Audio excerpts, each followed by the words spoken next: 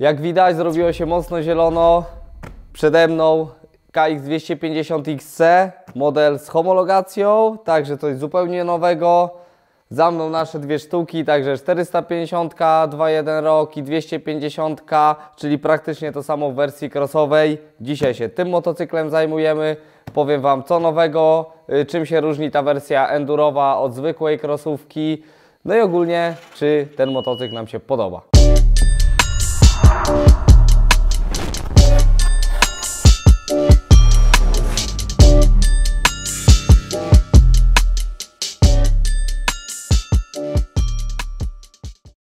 Witamy wszystkich nowych widzów, tych, którzy są tutaj z przypadku, którzy jeszcze nas nie subują. Zachęcamy do subskrypcji. Dużo tematów crossowych, endurowych, technicznych, praktycznych, teoretycznych. Zresztą zobaczcie sobie sami na naszym kanale. To zaczniemy może takiej opcji, jakby tutaj stało nam zwykłe, klasyczne XC, czyli ta powiedzmy taka bardziej leśna yy, krosówka. Tutaj są różne szkoły producentów, bo modele cross country się bardzo popularne w ostatnich latach zrobiły.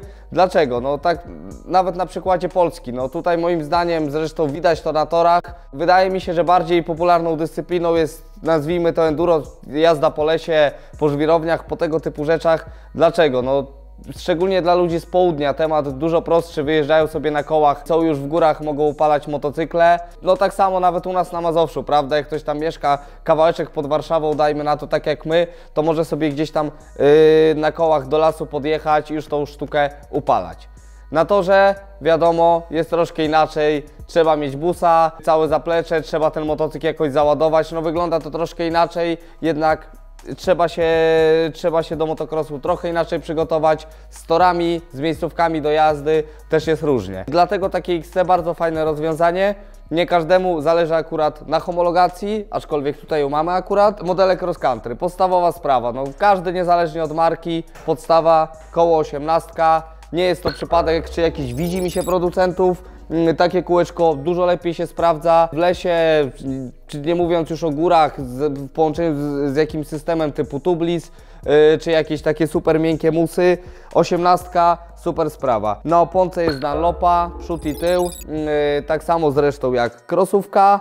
No i co dalej? Pierwsza rzecz, która się rzuca w oczy, nóżka. Stopka boczna, też temat fajny, przydatny. Jakbyśmy nie używali motocykla, wiadomo, że jak sobie gdzieś lecimy na wypad do lasu, no to albo opieramy o drzewo, albo mamy taką nóżkę, co jest dużo wygodniejsze. No nie postawimy motocykla na klasycznym stojaku, jak w przypadku y, jazdy na torze.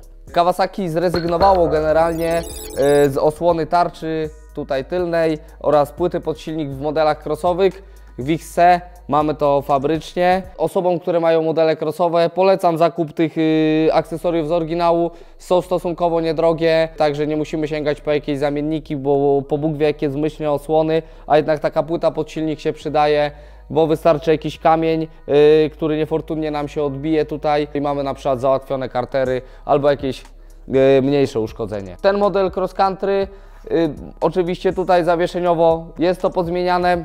Na pewno tutaj to wszystko jest z tą stronę miękko bardziej, żeby ten motocykl y, jednak lepiej się zachowywał w lesie, lepiej wybierał takie małe nierówności, był bardziej taki pluszowy, miękki na wejściu, szczególnie w tej pierwszej fazie yy, skoku. Kolejne zmiany, już ostatnie, yy, to jest zmiana przełożeń. Ten motocykl ma po prostu inaczej zestrojone przełożenie, inne rozmiary zębatek są. No i inna mapa zapłonu, taka, żeby on jechał równiej, był spokojniejszy właśnie, łatwiej, żeby było tą trakcję nam wyłapać. Można powiedzieć, że motocykl się różni niedużo, ale są zwolennicy yy, takiego rozwiązania, bo tak naprawdę dostajemy krosówkę z tą 18 z nóżką, ze spokojniejszą mapę, z mniejszym zawieszeniem i niektórym właśnie o to chodzi, bo jest to bardzo fajny, fajny temat, tak naprawdę silnikowo po wgraniu mapy crossowej ten motocykl jedzie praktycznie jak krosówka, a naprawdę w tym roku wyszedł bardzo, bardzo mocny. Z mojej strony, yy, co ja bym tutaj zmienił, troszkę moim zdaniem nie do końca temat, zbiornik paliwa. Fajnie by było, jakby jednak tam kurczę, nawet te 1,5-2 litry było więcej, bo przy długich wypadach y, może troszkę brakować, bo jest to zbiornik dokładnie taki jak w wersji crossowej. Tutaj mamy model homologowany, no, różnice y, widoczne na pierwszy rzut oka. Trochę rzeczy nas tutaj przy unboxingu zaskoczyło, możecie zobaczyć. Wiadomo, są lampy, kierunki, klakson, to jest wszystko fajnie zrobione. Cała elektryka jest na przekaźniku, także nie pobiera nam oczywiście prądu, dopóki motocykl nie pracuje. Yy, Wszystko zrobione ładnie, zgrabnie, te kieruneczki są malutkie, dobrze schowane, także tak naprawdę yy, można je sobie spokojnie zostawić. W niektórych motocyklach wiem, że jest tak, że to od razu trzeba wyrzucić, bo nie ma sensu z tym jeździć. Mamy licznik oczywiście z przebiegiem motogodzin, z przebiegiem w kilometrach. Są tu jeszcze jakieś informacje typu średnia prędkość, maksymalna prędkość, zegarek, tego typu rzeczy. Także to, co endurówka powinna mieć. Oczywiście światła stopu na dwóch pompach hamulcowych, mm, to czego wymaga homologacja. Oczywiście taki motocykl fabrycznie przychodzi nam zdławiony, yy, ma 13 kW.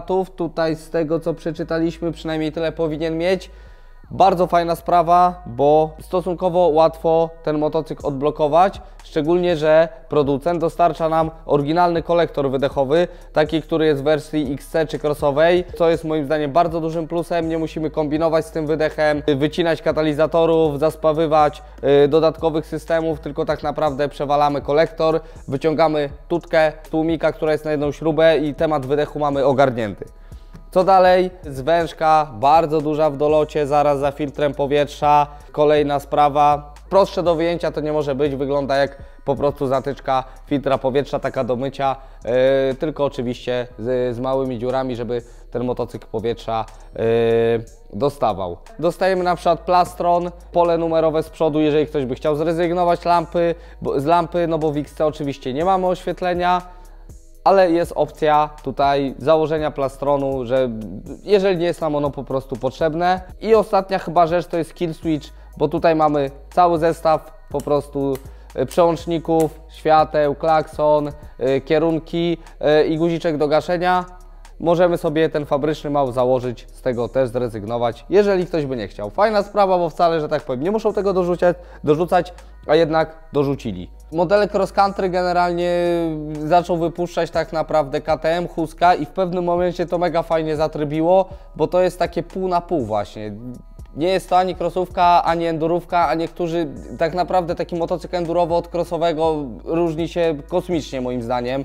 Jeżeli ktoś jest na pewnym poziomie już to endurówką mu będzie bardzo trudno w motocrossie jechać, a krosówką w takich ciężkich warunkach, yy, w górach właśnie, w terenie też nie jedzie się za fajnie, nie, nie jedzie się bezpiecznie, czasami się niepotrzebnie po prostu męczymy. I cross country to jest takie pół na pół właśnie, coś między jednym a drugim motocyklem.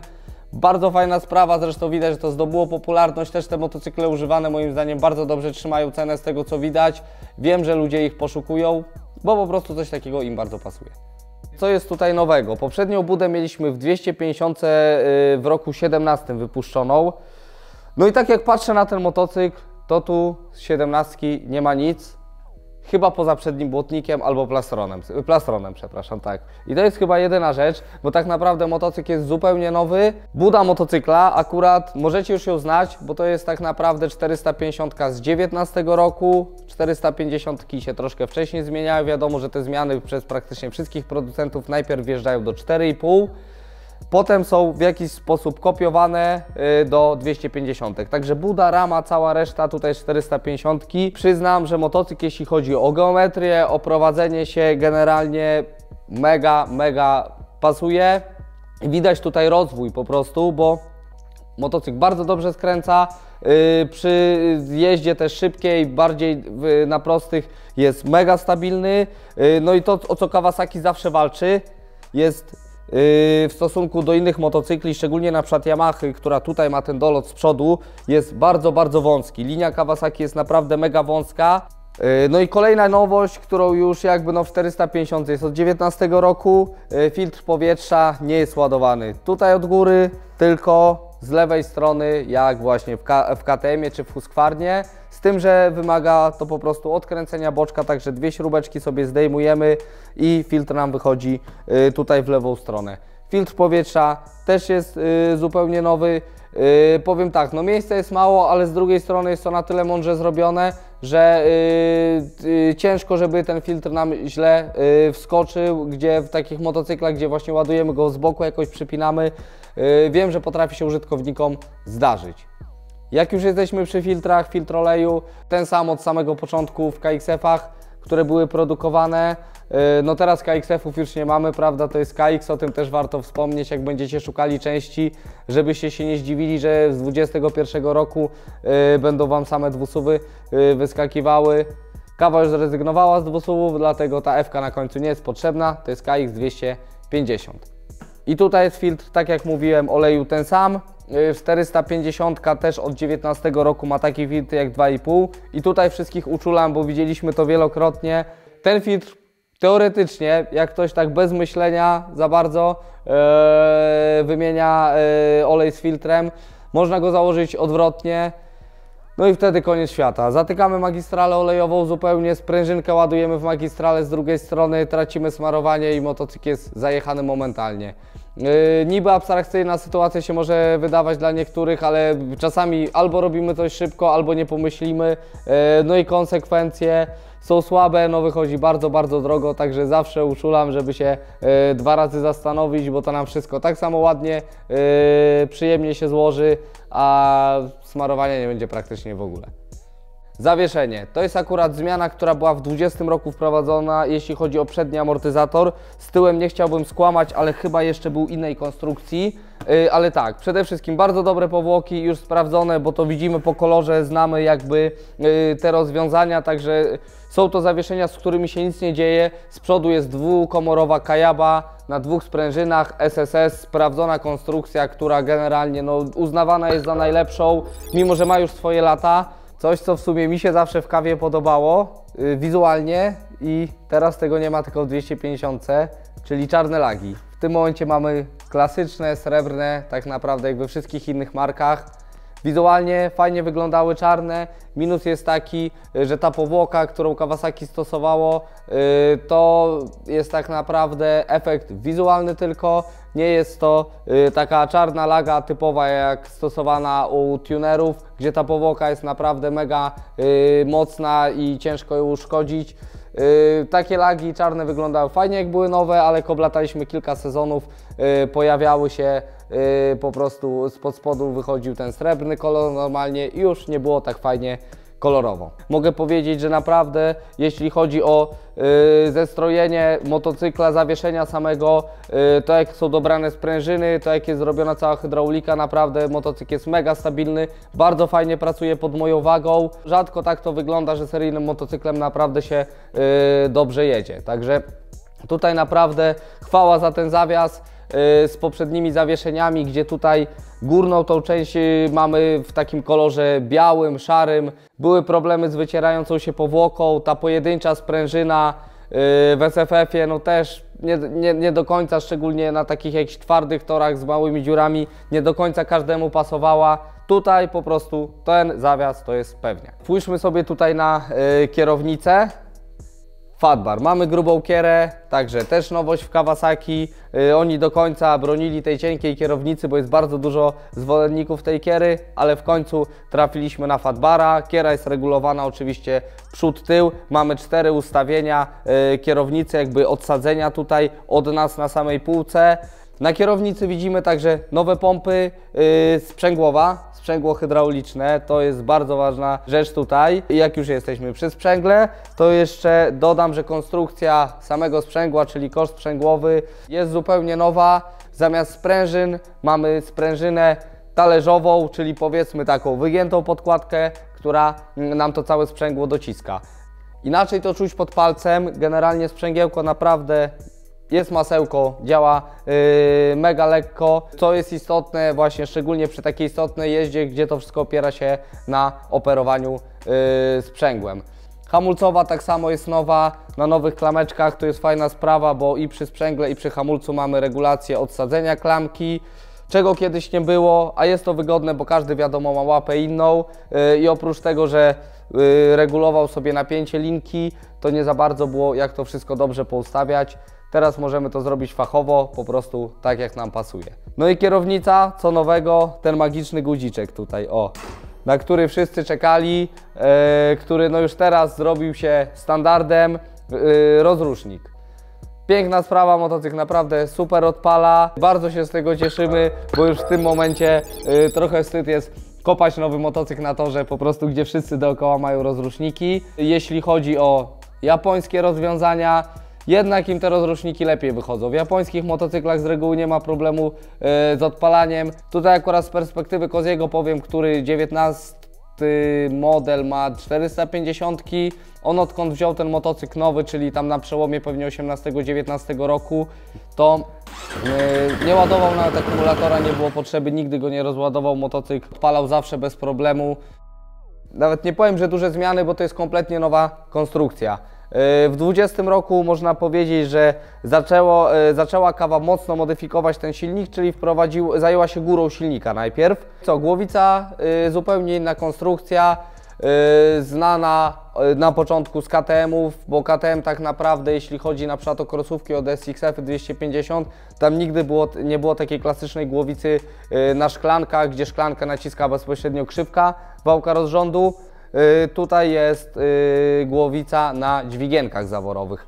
Z minusów wiadomo, jeżeli coś by się stało, problemy ze smarowaniem, y, tego typu rzeczy, jest to opcja droższa w naprawie, ale pozwala producentowi wygenerować jeszcze większą moc tego silnika, daje po prostu nowe możliwości.